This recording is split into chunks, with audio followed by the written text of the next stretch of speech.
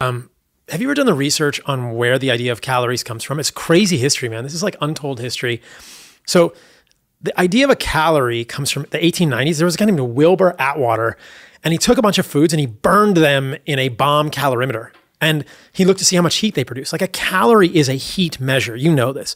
But humans are not a furnace. We are not one of these like coal burning engines in a cartoon, you know, like where the some, you know, bad characters shoveling a bunch of coal into this engine and the train is going faster and faster off a cliff. Like we are not a coal burning engine. We are not a heat producing furnace. We are complex beings that derive energy from food based on electrons. But there's no way you can put an electron measure on a, a package of food. And so, you know, you think about how do we get food? Like if you're eating a banana, an orange, a steak, whatever. You are getting food from the stored carbohydrates and protein and fat in there from electrons that are in those molecules that your body pulls out of those molecules and moves into intermediate molecules, NADH, FADH2, through beta oxidation or glycolysis in the Krebs cycle, and then puts them in the electron transport chain.